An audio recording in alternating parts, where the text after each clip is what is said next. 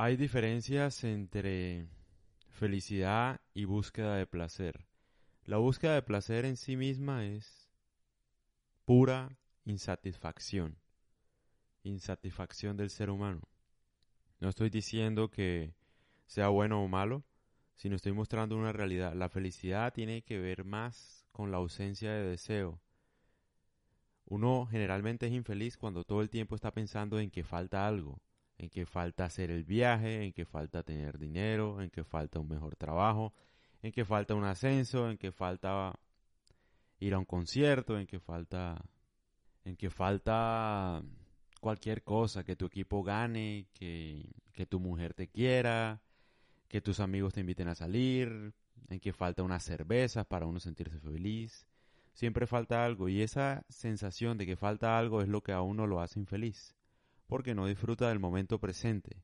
Entonces ahí es cuando entran los vacíos en general y esa insatisfacción que carga el ser humano a lo largo de su vida, siempre buscando llenarse de algo, porque siempre queda como faltando algo. La felicidad no tiene nada que ver con eso. La felicidad es todo lo contrario es aceptar todo lo que pasa y recibirlo de una mejor forma, entendiendo básicamente de que en realidad la vida de uno es muy corta, nada más son aproximadamente 70 años de vida en promedio.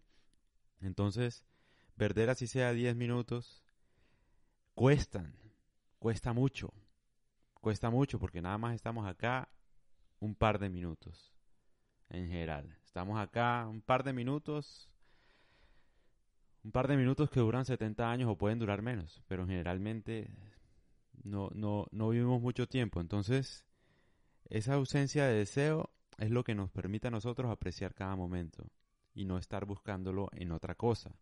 Por ejemplo, un niño de dos años no tiene la necesidad de buscar la felicidad o de pensar en el futuro o en el pasado.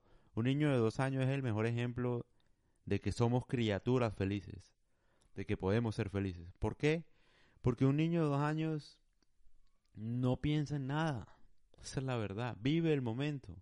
No ve los peligros, no ve los afanes, no ve la preocupación de la vida, no ve nada.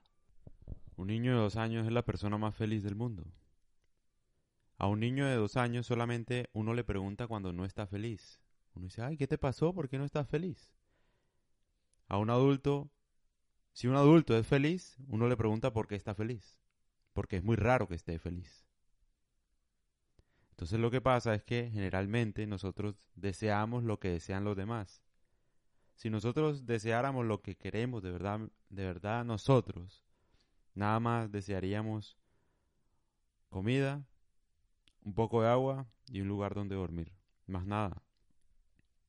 Pero todo el tiempo estamos buscando llenar nuestros vacíos en los deseos de los demás, en lo que logran los demás, como si nosotros en realidad quisiéramos eso y no lo queremos porque el otro viajó a Roma, entonces yo quiero viajar a Roma, porque el otro se casó, entonces yo me quiero casar, porque el otro tuvo, eh, tuvo hijos, entonces yo quiero tener hijos, porque al otro lo ascendieron, entonces yo también quiero que me asciendan, porque el otro compró un nuevo carro, entonces yo quiero también un mejor carro que él, un mejor reloj, un mejor ropa, etcétera. Y la verdad es que no necesitamos eso, porque si seguimos en esa búsqueda incesante, no vamos a ser felices nunca y vamos a perder 70 años de vida en nada, buscando cosas que querían los demás y no lo que uno quería. Uno no debe querer nada, uno debe apreciar lo que tiene, nada más, sea el momento que sea, la realidad que sea, nada más uno necesita agua, comida y poder dormir. Aunque bueno, si uno quisiera algo, debería querer por lo menos ser rico. No hablo por los lujos que da la riqueza, sino porque ser rico digamos que te ayuda a tener tiempo, tiempo para hacer lo que se te da la gana, y ese tiempo es lo que hace falta en la vida. Entonces, eso sería la única razón. O bueno, hablo a, nivel personal. Si yo quisiera algo en la vida, quisiera ser rico. ¿Para qué? Para poder seguir haciendo lo que se me da la gana sin que nadie me afane. Tener tiempo para dedicarme a mis hijos, futuros hijos, si es que llego a tener, si es que no llego a tener. Para dedicarme a mi mujer, para dedicarme a lo que me gusta hacer. Para eso quisiera ser rico. Para más nada. No, no me interesa. O sea, carros lujosos, tal. Es una estupidez. No tiene sentido. La riqueza debería ser para comprar algo de tiempo, tiempo de calidad, y para no tener problemas de dinero, por ejemplo. Eso, eso es lo único.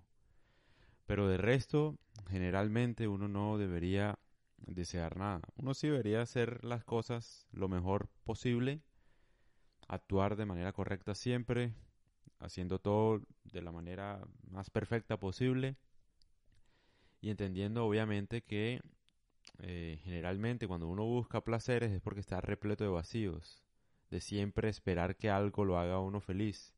Y nada te va a hacer feliz a ti, solo tú mismo.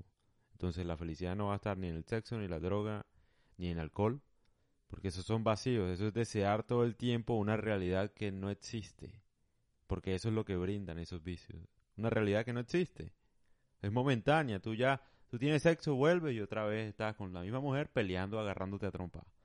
Eh, trago lo mismo, te emborrachas, eres feliz, la pasas bacano, tal, al otro día estás en Guayabao triste, pobre, en tu trabajo, depresivo porque esa es la realidad de la vida. Entonces, no buscar las cosas externas, sino más bien aprender a apreciar el momento como es y disfrutarlo tal cual es, entenderlo tal cual es.